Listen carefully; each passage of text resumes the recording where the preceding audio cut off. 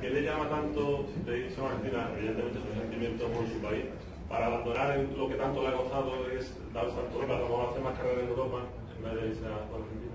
Mire, yo creo que usted, cada ser humano tiene un sueño. Mi sueño de, que tengo uso de razón era dirigir la selección de mi país, o jugar en la selección de mi país. Jugar no me no, las piernas no me dieron esa posibilidad. Y el sueño de dirigirla eh, fue siempre, desde muy chiquito. Y aunque altere por ahí esto la, en mi camino como entrenador, y a lo mejor no pueda llegar nunca más a, dirigir ligas como la que, la que disfruté este año, que fue increíble dirigir esta liga, porque están los mejores, eh, es porque siento que tengo que ir y porque ante la necesidad de mi país tengo que estar.